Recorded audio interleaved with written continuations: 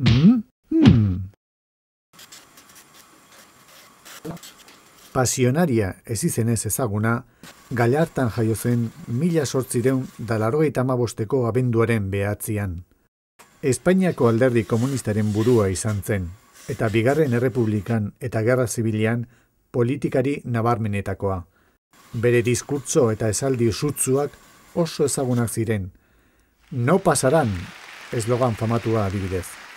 Gerra zibilaren ostean, Soviet batasunean erbesteratu zen, eta etzen itzuli mila bederatziron eta irurogeita amazazpirarte.